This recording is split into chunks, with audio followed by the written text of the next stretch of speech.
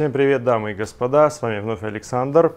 И сегодня я вам хочу рассказать о колясочке от компании Bugaboo. Моделька называется B6. А, сейчас, наконец, у нас потихонечку, худо-бедно, но открываются границы на какие-то курорты. Мы можем начинать уже хоть как-то ездить, отдыхать. Без, как говорится, э, не без проблем, но все-таки уже это можно делать. Вот. И для этого, чтобы с новорожденным ребенком или как там, там трех-четырехмесячным поехать, нам обязательно понадобится хорошая колясочка, которая не будет обременять нас своими гигантскими размерами в отпуске, да и в теплое время года, в принципе, даже дома. Вот. И для этого как нельзя лучше подходит э, колясочка VSX от Bugaboo. А, сегодня мы с вами рассмотрим комплектацию 2 в одном. В двух словах вам технические характеристики расскажу. Напомню, это Нидерланды.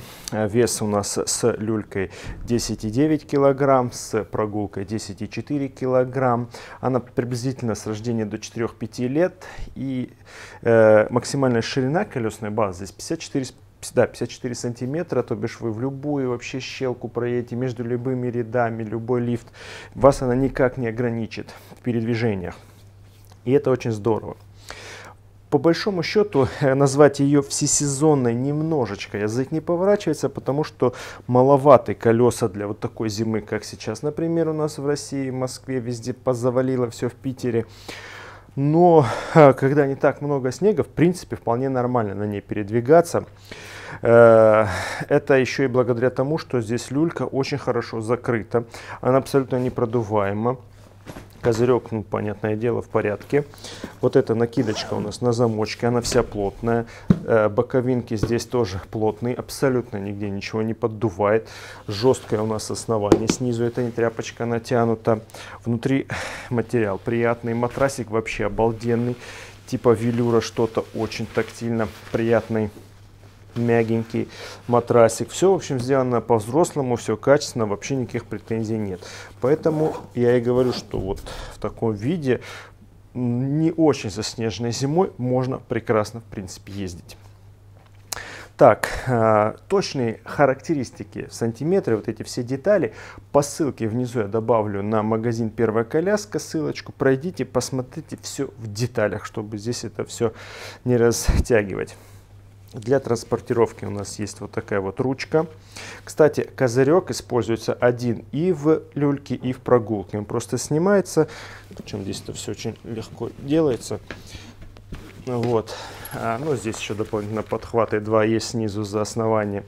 И этот же э, козырек используется и в прогулочном блоке. Это я тоже вам покажу. Так, чтобы снять, нажимаем кнопочки. Основание у нас жесткое. Здесь вот такие вот ножички, поэтому смело можем ставить куда угодно и не бояться, что она там испачкается или еще что-то. Так, чтобы поставить прогулочный блок, нам нужно снять отсюда вот эти адаптеры, переходнички. Их убираем и ставим прогулочный блок. Смотрите, есть одна деталь. Э, прогулочный блок можно установить только когда э, прогулочный блок вот, вот в таком положении, потому что только в таком положении открывается доступ к креплению. Иначе вы его не установите. Ставим. Он, естественно, реверсивный и по ходу, и против хода движения. Длина здесь сидушки, кстати, очень легко регулируется. Все так мощно так, ставим козырек.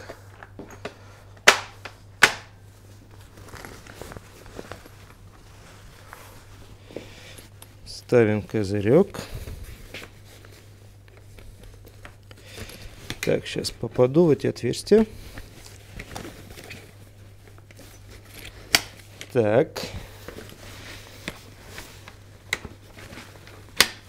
Вот основание тоже козырька берем, натягиваем сюда, подхватываем. Вот здесь все это есть. И смотрите, какой у нас получается козырек. Вообще у Бугабу в целом всегда козырьки какие-то вообще огромедные, закрывает полностью. Но если мы э, опустим полностью лежачее положение, вот, то вот ровно половину мы и закрываем. Также здесь, естественно, у нас есть бампер. Бампер у нас, сейчас посмотрим, как калиточка. Да, как калиточка откидывается. Все в коже, все вообще более чем замечательно, что на ручке, что на бампере. Так, что касается безопасности, давайте в двух словах. Пятиточные ремни. Еще такая фишка используется, что ремни все время подняты, чтобы нам не нужно было их а, с-под ребенка высовывать. Просто они всегда натянуты, потом спокойно э, одеваем. Они у нас не, не мешаются. Также раздвигаются они на поясничной зоне, с этим все хорошо. Единственное, подмечу, вот нет мягкой накладки никакой на паховой зоне, на ремне. Я бы, конечно, это добавил при такой-то стоимости, это ну, вообще было бы правильнее. Так, 100 а, градусов, если мне память не изменяет, у нас вот в этом положении практически капитанская посадка. Это очень здорово, что ребенок сильно не завален назад.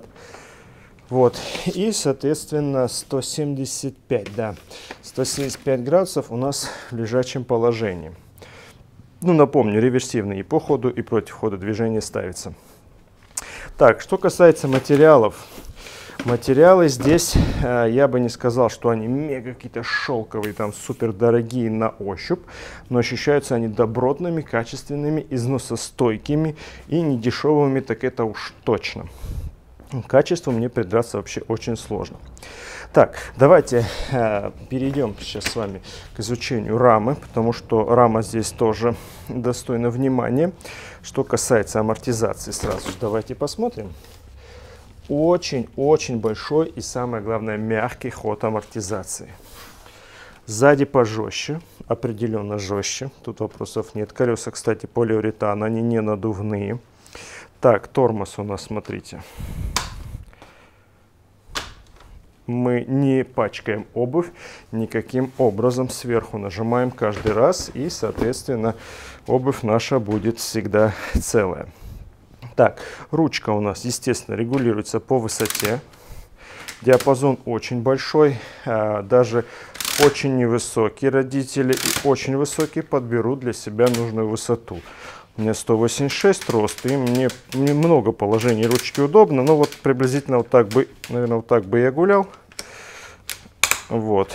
И, соответственно, диапазон здесь прекрасный. Также есть страховочный ремешочек. Все нормально. Так, давайте теперь попробуем ее сложить, а, потому что это тоже в путешествии немаловажный момент. Так, убираем с вами прогулочный блок. Он у нас вот такой маленький, компактный. Вот. Потом складываем раму. Чтобы сложить раму, а, у нас здесь нужно нажать две кнопочки.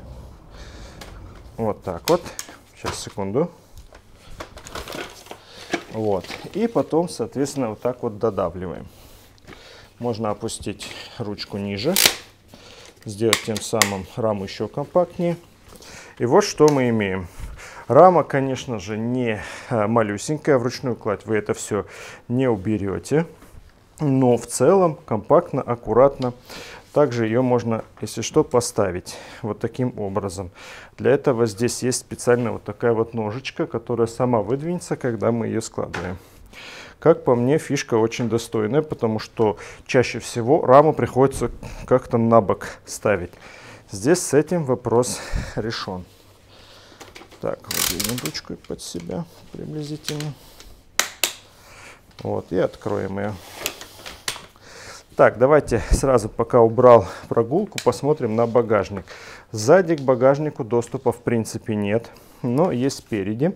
Багажник достаточно большой, есть вот такая вот сетка, в которой можно что-то положить, оно прижмется, чтобы не болталось.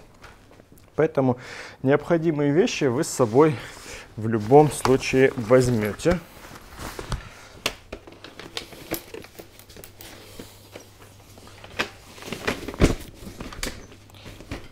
Так, ну, естественно, козырек можно на одну секцию уменьшить и замочком закрыть.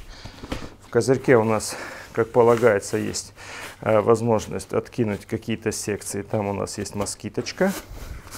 Вот таким образом. Здесь у нас тоже есть такая же секция. Поэтому с этим проблем нет. В общем, а, по большому счету, э, информацию, которую хотел донести до вас, я донес. Э, давайте подытожим. Э, Мое мнение. Если взять искать коляску для э, поездок и преимущественно для э, теплого времени года или, например, для каких-то южных наших регионов, то эта коляска как нельзя лучше для этих регионов подойдет.